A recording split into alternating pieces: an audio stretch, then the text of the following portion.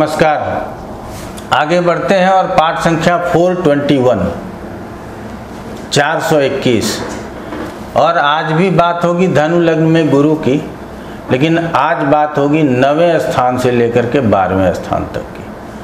पीछे के दो पाठ को यदि पढ़ लिए हैं तो नवें से बारहवें स्थान को समझना भी सरल हो जाएगा। और हम तो आपके लिए उपस्थित होते ही हैं अगर नहीं भी पढ़े हैं तो आज यदि हम बताएँगे तो कल से आप क्रम से पढ़ना शुरू कीजिएगा तो ज्योतिष आप सीख लीजिएगा। हम ये बात बोलना नहीं भूलते कि जो क्रम से पढ़ेंगे, वो ज्योतिष सीख जाएँगे। हमारा पाठ विलम्ब से आए या जितने दिन में ज्योतिष पूरा हो, हम पूरा ज़रूर करेंगे। लेकिन आप लोगों को यदि किसी को जल्दी में सीखना हो तो हमारे पाठ्यक्रम को ज्वाइन कर सकते हैं। जनवरी और जून में पाठ्यक्रम प्रारंभ होता है और उसके लिए कभी भी फ़ोन करके अपना रजिस्ट्रेशन करा सकते हैं। तो चलिए आगे बढ़ते हैं। धनु लग्न में गुरु। गुरु कहाँ स्थित है? अब नवम स्थान में। तो नवमेश गुरु होता है काल पुरुष की पत्रिका में, अपने ही घर में स्थित है। तो भाग्य भाग्य स्थान में है, ये अंडरस्टूड है, इसको मान करके चलेंगे दूसरा, द्वादशेश गुरु नवम स्थान में है, क्योंकि काल पुरुष में ये द्वादश स्थान का भी स्वामी होता है, ये भी जानेंगे। गुरु नवम का कारक होकर के नवम में बैठा है तो क्या कारक भाव नासाय जैसे विषयों को समझना होगा? ये भी हम लोगों को जानना ज़रूरी है। गुरु इस पत्रिका में लग्नेश होकर के नवम में है तो लग्न को कितना ताकत मिलेगा, इसको भी समझना है। गुरु इस पत्रिका में चतुर्थेश होकर के नवम में बैठा है तो वाहन, धन और भूमि से, मकान से संबंधित कितना लाभ होगा, इस विषय को भी जानना है। तो कितना सरल हो गया ना? और गुरु के जो स्वतंत्र कारकत्व हैं कि धन होगा, पुत्र होगा, आनंद मिलेगा, गुरुओं का सहयोग मिलेगा, बड़ों से बड़ा आदर मिलेगा, इन विषयों का भी हम लोगों को ध्यान में रखना होगा। तो गुरु नवम में है तो जातक धार्मिक प्रवृत्ति के होंगे, अपने पिता के साथ मिलजुल कर आगे बढ़ने होंगे बढ़ने वाले होंगे। अगर कारक के अनुसार यहाँ पर इसको समझना चाहें तो ये नवम का फल थोड़ा अल्प कर सकता है।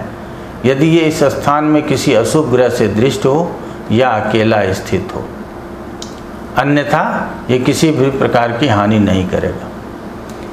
अब गुरु नवम स्थान में तो धार्मिक यात्रा, धार्मिक आयोजन, धार्मिक कार्यों में निपुणता, ये सब आपको प्राप्त होगा।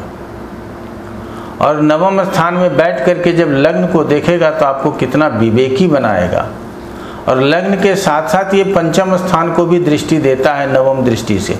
तो पंचम पंचम दृष्टि से लग्न को और नवम दृष्टि से पंचम स्थान को देख रहा है और सप्तम दृष्टि से पराक्रम स्थान को देख रहा है। तो आप कितने विवेकी होंगे, बुद्धिमान होंगे, जीवन आपका अनुशासित होगा।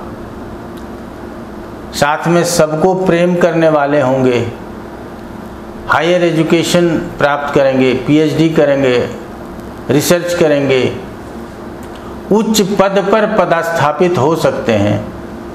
क्योंकि ये आपका पूर्वार्जित कर्म है। यहाँ यदि गुरु की दृष्टि है तो आपको ये समझना होगा और ये मानना होगा कि आपके पिछले जन्मों के कर्म अच्छे हैं।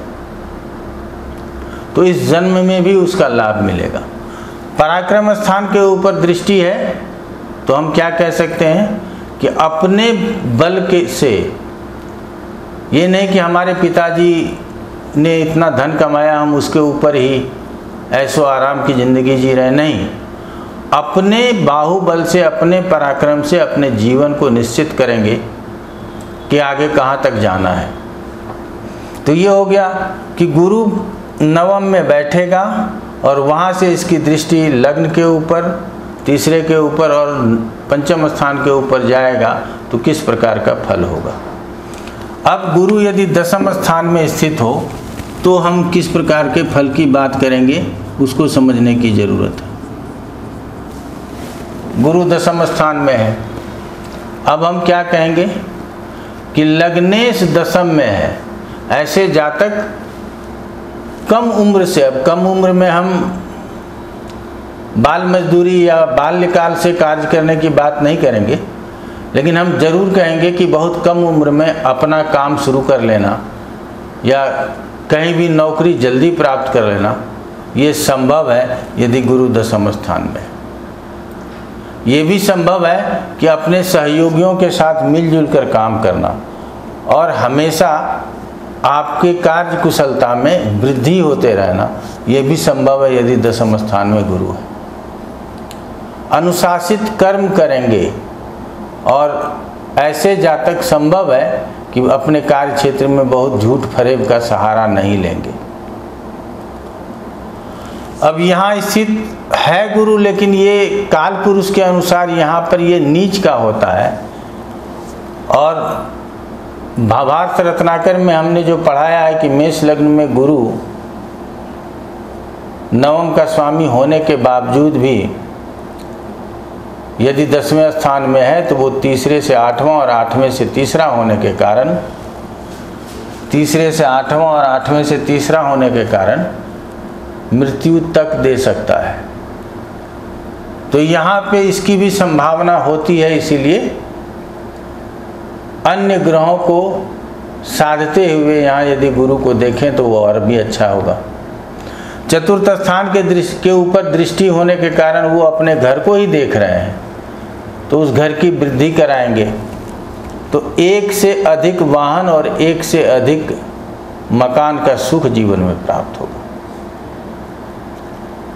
यहाँ बैठ करके धन स्थान के ऊपर दृष्टि दे रहे हैं तो धन की वृद्धि कराएँगे। अर्थात आपको धन संचय करने की आदत होगी।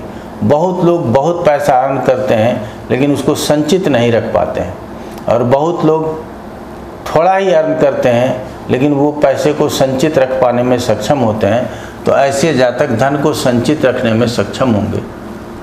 अपने परिवार, अपने कुटुंब जनों का भी विशेष रूप से ध्यान रखेंगे और उसकी वाणी भी अनुकूल होगी। और यहाँ वाणी स्थान के ऊपर गुरु की दृष्टि होने से वाक सिद्धियों को प्राप्त करेंगे। ऐसे में यदि आप ज्योतिषाचार्य हैं या नहीं है, दोनों जगहों पर आप यदि कुछ कहेंगे तो आपका बात सच हो जाएगा। तो ये वाणी स्थान के ऊपर गुरु की दृष्टि होने का प्रभाव वहाँ से जब छठे स्थान को देखेंगे तो एक परेशानी रहेगा, जीवन में स्वास्थ्य से संबंधित परेशानी हो सकता है। थोड़े ज़रूरत होने पर भी जल्दबाजी में आप ऋण ले सकते हैं और आपके सामने आपका शत्रु खड़ा हो सकता है। तो ये संघर्ष आपके जीवन में रहेगा, लेकिन ऐसा नहीं है कि इससे आपको बहुत परेशानी हो जाएगी, नहीं, संभालने का भी सामर्थ्य आपके पास होगा। चलिए अब गुरु यदि एकादश स्थान में हो तो क्या फल करेगा? गुरु को यहाँ अब समझने की ज़रूरत है। तो कहा गया है कि एकादश स्थान में जिस भाव का स्वामी गया हो, उस भाव की भी वृद्धि हो जाती है। जो ग्रह गया हुआ हो, उस ग्रह के भी स्वतंत्र कारकत्वों की वृद्धि हो जाती है। तो अब यहाँ गया कौन है? पहले ये समझ लीजिए। तो काल पुरुष के अनुसार नवमेश और द्वादशेश एकादश स्थान में है। वर्तमान पत्रिका में लग्नेश और चतुर्थेश एकादश स्थान में है। चार भावों के स्थिर कारक हैं। कौन कौन से भावों के? दूसरे के, पाँचवें के, नवें के और ग्यारहवें के भी ये एकादश स्थान में स्थित है। और गुरु एकादश स्थान में स्थित है। तो गुरु के कारकत्वों की वृद्धि होगी। दूसरे भाव के कारक हैं तो दूसरे भाव से भी संबंधित कार्य को गुरु वहाँ स्थित होकर के अच्छा कर सकेगा। काल पुरुष में धर्म स्थान के स्वामी होकर के एकादश में है तो धर्म की भी वृद्धि होगी। वर्तमान पत्रिका में लग्नेश होकर के एकादश में है तो हो सकता है कि ओवर कॉन्फिडेंट हो जाए। इससे बचना भी चाहिए। चतुर्थेश होकर के एकादश में है तो एक वाहन और एक घर से सुख नहीं, या वहाँ पे आपको संतोष नहीं। एक से अधिक वाहन और एक से अधिक घर होने की संभावना है। अब इसकी दृष्टि पराक्रम स्थान के ऊपर है, पंचम स्थान के ऊपर है। पहले पराक्रम को समझ लीजिए। ऐसे जातक को नौकर चाकर का सुख मिलेगा। छोटे भाई बहन का सुख मिलेगा और छोटे भाई बहन भी सुखी होंगे। अपने मित्रों का सहयोग मिलेगा। पंचम स्थान के ऊपर दृष्टि है तो आप निश्चल प्रेमी होंगे। यदि आप किसी के साथ प्रेम करेंगे तो उसको छलेंगे नहीं। उसके साथ धोखा नहीं करेंगे, उसके साथ फरेब नहीं करेंगे।